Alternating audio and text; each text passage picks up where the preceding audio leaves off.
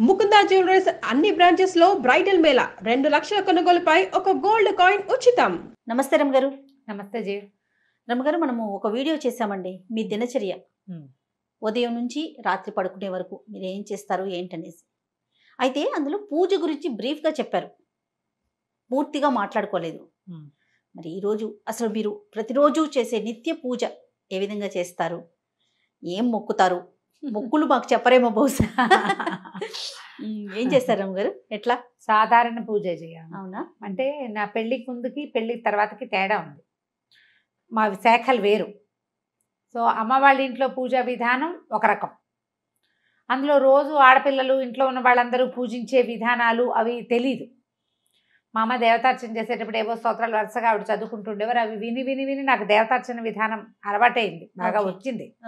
కాకపోతే అది దానికి ప్రత్యేకంగా మడిగట్టుకోవాలి మా పెరమాళ్ళని అందరూ ముట్టుకోరు. మా ఇంట్లో విధానం అది. ఈ అత్తవారింట్లో పూజా విధానం వేళ్ళు వేరు. అమ్మ వాళ్ళది నిలుబొట్టు అత్తగారి వాళ్ళది అడ్డబొట్టు. ఓకే. ఈ బొట్టు తేడాతోటి పూజా విధానాల తేడాలు ఉంటాయి. తులసి పూజ అవి మా ఇంట్లో అలవాట్లేదు మరి మా వాళ్ళల్లో ఎవరైనా చేస్తారేమో తులసితోటి స్వామిని పూజిస్తాం కానీ తులసికి పూజ తెలియదు అనమాట నోములు వ్రతాలు అవి ఉండవు మా మాకు. పుట్టింట్లో లేవన్నమాట. నోములు ఉండవు.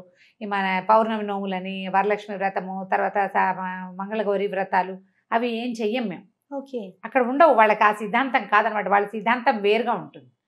అయితే తర్వాత కొంచెం కాస్త మేము పెద్దవాళ్ళం అయ్యాక వినాయక చవితి ఒకటి బాగా చేసుకుంటూ ఉండేవాళ్ళం. తర్వాత వరలక్ష్మి వ్రతం పూజ చేసుకోవటం. లక్ష్మీ పూజే కదా ఆడపిల్లలకి మంచిదని మా రంగపిన్నో మా ఆండక్కో ఎవరో వాళ్ళిద్దరిలో వాళ్ళు ప్రవేశపెట్టారు. వరలక్ష్మి వ్రతం అప్పుడు మా అమ్మ పూజ మాకు మా దేవతార్చన దేవతార్చన అయిపోతే విడిగా మేము ఒక పీట పెట్టుకుని బంగారపు వస్తువు ఏదైనా పెట్టుకుని వరలక్ష్మి వ్రత విధానం పుస్తకం చదువుకుని పూజ చేసుకునేవాళ్ళం అదే మాకు తెలుసు అంతకంటే తెలియదు అత్తవారింటికి వచ్చాక వీళ్ళ పూజా విధానం అవి కొంచెం వేరుగా ఉంటాయి. వీళ్ళకి నోములు అవి ఉన్నాయి. మూగిదానికైనా మూడు నోములే అని చూపి మూడు వేలు చూపించేవారు మా అమ్మగారు. ఓకే. మా వారి నాయన అత్తగారు లేరు కదా. సో మా వారి నాయనమ్మ ఉండేవారు మా అమ్మగారు ఉండేవారు. మూడు నోములు అని వర మన వరలక్ష్మి వ్రతం చేయించారు. మంగళగౌరి నోములు పట్టించారు. ఐదు సంవత్సరాలు చేయవలసింది. తర్వాత ఏమో పువ్వు తాంబూలం పండు తాంబూలం నోము ఒకటి నోయించారు.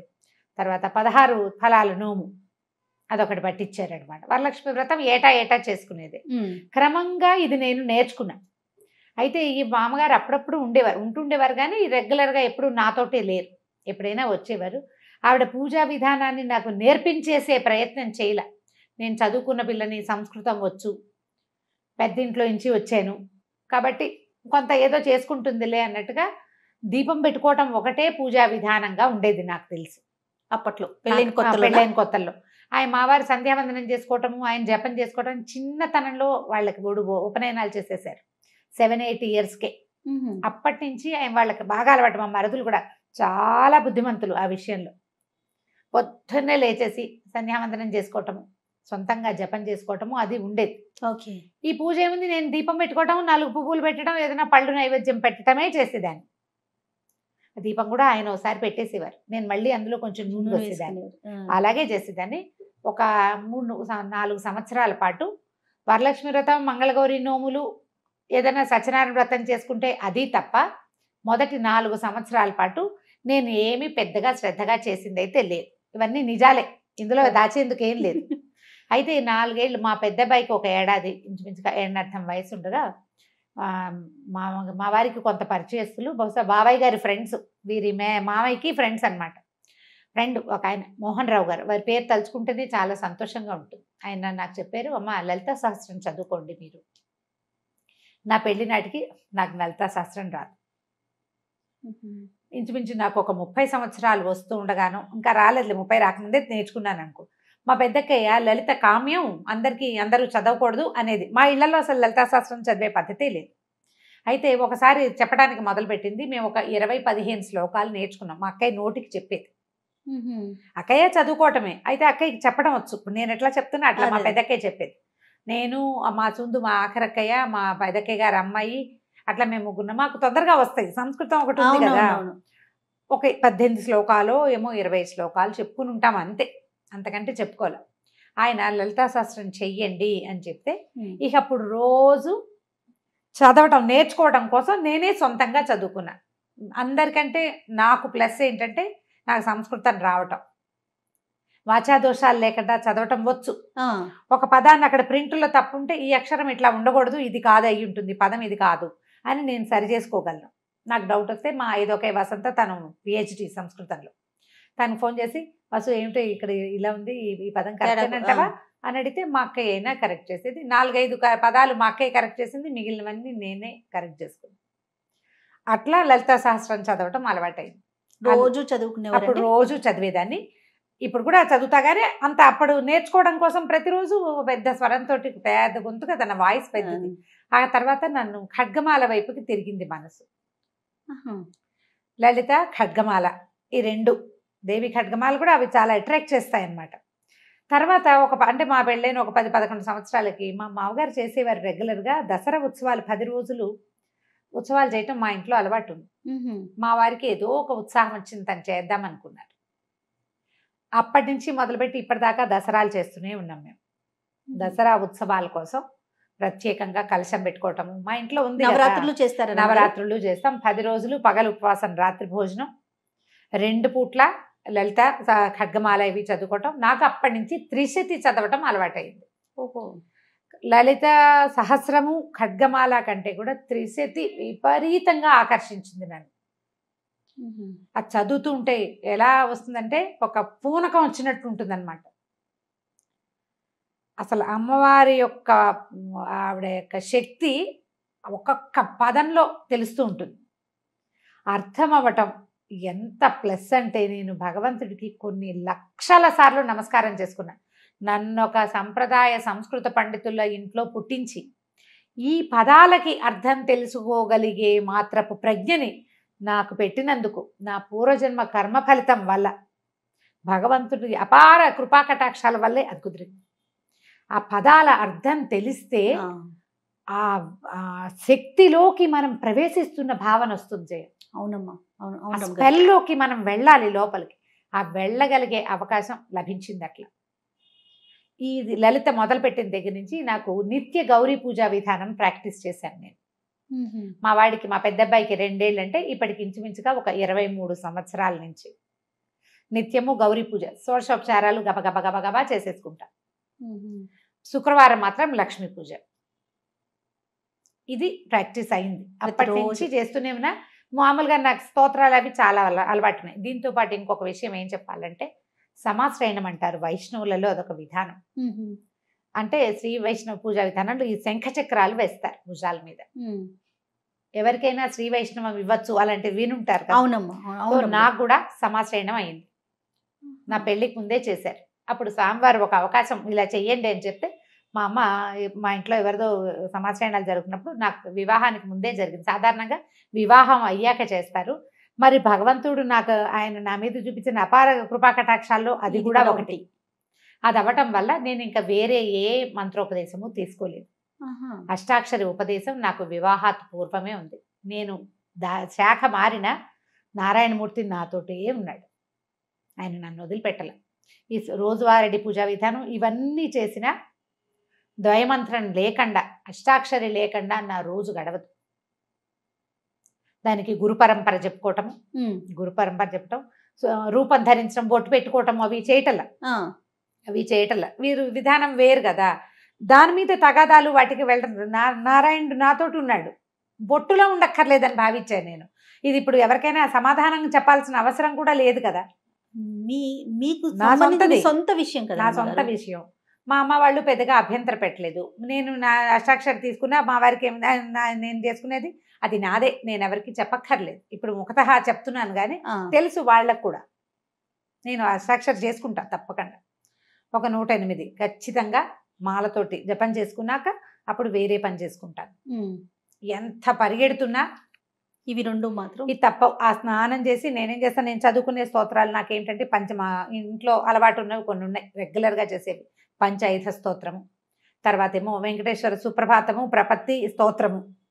సుప్రభాతాలు రోజు చదవను. శుక్రవారం శనివారం మాత్రమే సుప్రభాతం చదువుతా. ప్రపత్తి స్తోత్రాలు రోజువారి గడగడ గడగడ వెళ్ళిపోతాయి. అవి అలవాటు అయిపోయింది. చిన్నప్పటి నుంచి. ముందు నుంచి వచ్చు అవి నాకు. నాకేంటంటే ఇప్పుడు రావట్లేదు జయ. ఇదివరకు ఎవరైనా నాలుగైదు రోజులు వరుసగా చదివితే తర్వాత నాకు వచ్చేసేవి. మా అమ్మగారు చదివే రామరక్ష స్తోత్రం అవన్నీ మా అమ్మ చదువుకునేది. ఇవన్నీ రావటంతో స్నానం చేసి నేను దేవుడి దగ్గరికి వెళ్ళే లోపల కుదిరితే ఉచ్చేశ్రవంతో పెద్ద సౌండ్. లేకపోతే నోట్లో అయినా వరుసగా గణేష పంచరత్నాలు తర్వాత ఏమో సుబ్రహ్మణ్య అష్టకము తర్వాత ఏమో వెంకటేశ్వర కరావలంబము ఈ మూడు లైన్. ఓ. ఈ మూడు చదివాక పంచాయుధ స్తోత్రం. పంచాయతీ స్తోత్రం బాగా చిన్నప్పటి నుంచి అలవాటు. పంచాయతీ స్తోత్రం చదువుకోవటం. ఆ తర్వాత స్వామివారిది సుప్రభాతాలు ఇవి ఈ లైన్ ఇవి ఒక మూడు. వీటితో పాటు రామరక్ష స్తోత్రం బాగా ఇష్టం. రామరక్ష స్తోత్రం. కాలభైరవాష్టకం అప్పుడప్పుడు చదువుతాను. దక్షిణామూర్తి స్తోత్రం చాలా ఇష్టం నాకు. దక్షిణామూర్తి. ఈ మొత్తం ఇన్ని స్తోత్రాలు కలిపి అటు ఇటుగా నేను అక్కడే కూర్చుంటే ఒక ఇరవై నిమిషాలు ఇరవై ఐదు నిమిషాలు పడుతుంది నాకు. కూర్చుని ఉంటే ఖాళీగా అలవాటు ఉంది కదా. కంఠస్థం అలవాటు ఉంది కాబట్టి అక్కడ కూర్చోక్కర్లేదు. పని చేసుకుంటూ ఇవి చదివేసుకుంటా అక్కడి నుంచి దేవుడి దగ్గర కూర్చున్నప్పుడు దీపారాధన చేయటం పువ్వులు తెచ్చుకోవటం అంటే బయట నుంచి కొనుక్కొచ్చిన పూలని ఇప్పుడున్న నేను కొత్తగా వెళ్ళే ఐదారు సంవత్సరాల క్రితం ఇల్లు తీసుకున్నాం అక్కడ ఏంటంటే కింద కాసిన మొక్కలు ఉన్నాయి ఏవో. పువ్వులు వస్తాయి నాకు నా అదృష్టం ఏంటంటే భగవంతుడు నాకు తోడబుట్టిన వాళ్ళని ఎంతమందిని ఇచ్చాడు అలా ప్రేమగా నాతో ఉండే వాళ్ళని కూడా కొంతమందిని ఇచ్చాడు. కింద ఫ్లోర్లో ఉండే జ్ఞానశ్రీయే ప్రతిరోజు పువ్వులు వచ్చి నాకు తెచ్చిస్తుంది పంపిస్తుంది. పట్టుకొచ్చిస్తుంది ఓ, సూపర్. నైంటీ పర్సెంట్ తనే తెచ్చిస్తుంది గ్రేట్ ఒక్కొక్కళ్ళని అట్లా ప్లస్. చేస్తాడు ప్లస్ పువ్వులు పట్టుకొస్తుంది ఏమైనా కొన్న పువ్వులు చామంతులు అవి ఉంటే అవి పెట్టుకుంటే పువ్వులు పెట్టుకోవటం ఈ వరుసలు అయినంతా చదువుకోవటం ఖడ్గమాల కూడా చదివిస్తే అక్కడక్కడక్కడక్కడక్కడ ఖడ్గమాలే వెళ్ళిపోతుంది శుక్రవారాలు నేను ఇంట్లో ఉన్నప్పుడు మాత్రం. లలిత కానీ త్రిశతి కానీ చదువుకుంటా. దసరాల్లో పూర్తిగా ఇవి మూడు వీటిని అలవాటుగా చదవటం అలా ఉంది. సాయంకాలాలు ఏం చేస్తాను? దీపం పెట్టుకుని ఎక్కువ ఏం చెయ్యను సాయంత్రం. తేలిగ్గా ఒకటి రెండు స్తోత్రాలు చదువుకుంటా. త్రిశతి సాయంత్రం చదివితే ఏంటంటే పగలు పనిచేసిన అలసటంతా పోతుంది జయ ఏంటో నాకు. అవునా? అవకాశం దొరుకుతుందా దొరుకుతుంది. అప్పుడప్పుడు రోజు ఉండదు. ఇప్పుడు నేను ఇక్కడ ఏడున్నర అయిపోయింది అనుకో నా కదా వల్ల. కాదు ఇంకా ఉమ్. కూర్చోవటం. పెంద్రాలే వెళ్ళిన రోజున తప్పకుండా చేస్తాను. దీంట్లో వీటిలలో ఒక్కొక్క రోజు ఒక్కొక్కటి ప్లస్ చదవ బుద్ధి అయితే ఆ పూట ఖాళీగా ఉన్నాను అనుకో కాలభైరవాష్టకం. మ్మ్. తర్వాత జగన్నాథాష్టకం చాలా ఇష్టం నాకు. పూరి జగన్నాథుడి గురించి. అదొకటి చదువుతాను. మధురాష్టకం అవి ఇష్టం. కృష్ణుడికి సంబంధించిన చాలా స్తోత్రాలు. ముకుందమాల మా ఇంట్లో ఉపదేశం ఉంది. నాయనమ్మకు ఉండేది. మా నాయనమ్మ ఆవిడ ఇట్లా మంచంలో ఉన్నా కూడా గుష్యతే ఎస్ఏ నగరే అనుకుంటూనే ఉండేవారు. దాంతో అదొకటి బాగా ఇష్టం. నేను ముకుందమాల పాఠం కూడా చెప్పాను. ఓహో. బాగా ఇంట్రెస్టింగ్గా ఉంటుంది. ముకుందమాల కూడా. అది కూడా అసలు ఎట్లా కృష్ణుడిలోకి మనని తీసుకెళ్ళిపోతుందంటే అర్థం కావాలి. ఇక్కడ ప్రధాన అంశం ఏంటంటే రమగారు మీకు వాటి భావం తెలియటం దాని వలన పూర్తిగా ఇన్వాల్వ్ అయిపోతారు అయిపోతారు. దాని లోపలికి వెళ్ళిపోగలుగుతారు. కదండి? నిజంగా అది చెప్తున్నాగా లక్షల సార్లు కృతజ్ఞతలు చెప్పుకున్నా. భగవంతుడికి అసలు అది తీరదన్నమాట. ఉన్నావు నాయన అందుకనే ఇప్పుడు లేకపోతే అంత అవకాశం అందరికీ లభించదు. అవునవును అవును. ఆ లభించటం దాంతో పాటు నాకు భక్తి ఉండటం. ఎస్ ప్రధానంగా. భగవంతుడి మీద ఆసక్తి ఉండటం. ఎంత హడావిడిలో ఉన్నా ఏదో ఒకటి. ఇప్పుడు నేను బజార్ ప్రయాణంలో కూడా నేను చదువు చదువుకుంటారు. ప్రయాణం. ఒకవేళ నేను ఇంటి దగ్గర ఏం చదువుకునేందుకు అవకాశం లేక అలా పరిగెత్తుకుంటూ రావాల్సి వచ్చినప్పుడు మా టీవీకి వెళ్ళినా కూడా. అక్కడ కారులో చదువుకుంటా మొత్తం స్తోత్రాలు.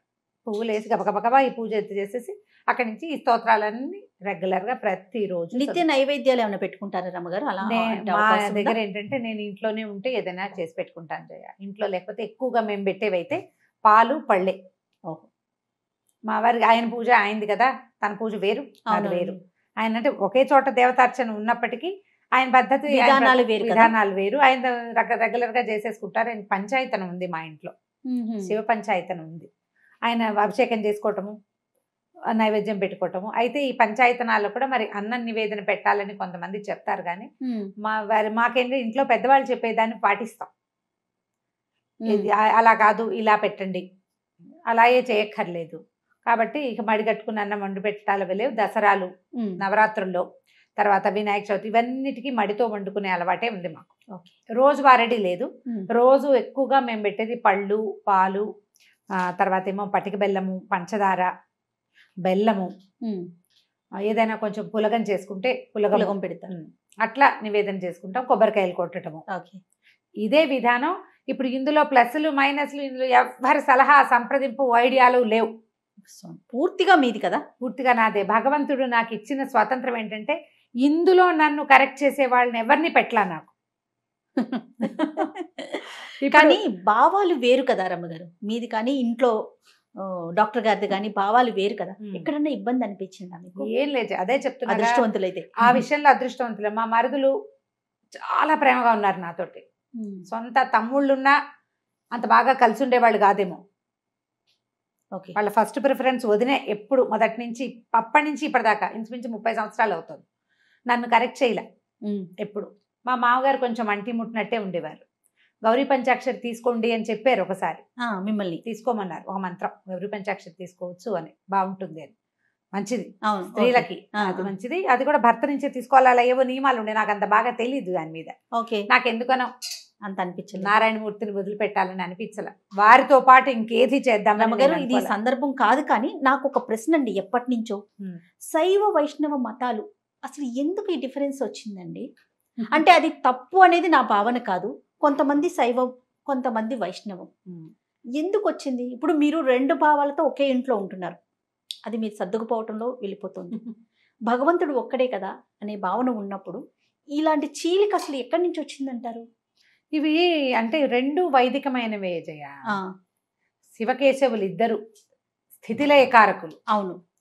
అయితే ఈ స్థితికారకుడైన విష్ణువే పరమదైవతం అని భావిస్తారు వైష్ణవులు.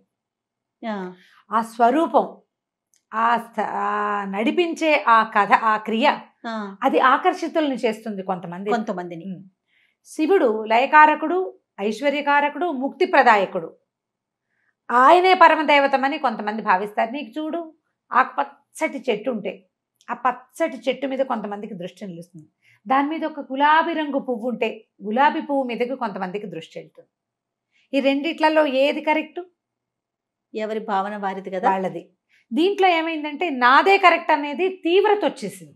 ఆ భావం ఎంతవరకు తీవ్ర- కరెక్ట్ అండి కరెక్టా అంటే మనం చెప్పలేకపోతాం జయ. మనం ఇదంతా మాబ్లో ఉంటుంది. జనాలు గుంపుగా చేరినప్పుడు వాళ్ళ వాళ్ళ భావాలు ఉంటాయి. నారాయణమూర్తి ఆ స్వరూపము ఆయన చెప్పబడుతున్నటువంటి రకరకాల క్రియలు ఈ దశావతారాలు ఇవి కాకుండా చెప్పబడే మొత్తం ఇరవై ఒక్క రకాల అవతారాలు అవన్నీ ఆకర్షితుల్ని చేస్తాయి కొంతమంది పరమేశ్వరుడు ఆయన యొక్క రుద్రమూర్తులు. ఆయన యొక్క క్రియాకలాపాలు. సదాశివుడుగా నిరంతరము శక్తితో కలిసి ప్రపంచంలోనే ఉండటము. ప్రపంచ నిర్మాణ శక్తి పరమేశ్వరుడే అవటము కొంతమందిని ఆకర్షితులు చేస్తుంది. భగవంతుడు నాకు ఇచ్చిన వరం ఏంటంటే నాకు వీళ్ళిద్దరిలో తేడా లేదు. అది ఎంత ఆకర్షిస్తుందో ఇది ఎంత ఆకర్షిస్తుంది నన్ను. నేను లలితలో ఎంత మిళితమైపోతానో విష్ణు సహస్రనామంలో అంత వెళ్ళిపోతాను. విష్ణు సహస్రనామము చదువుకుంటాను. అది రోజువారీ క్రియ. అంటే అంశాలు వేరైనా భావం ఒకటే కదా? ఒకటే భగవంతుడు ఒకడే నిన్ను ఆకర్షించే భావాలు రెండు వేరు వేరు ఉంటే ఒకదాని మీద తీవ్రంగా వెళ్తాం.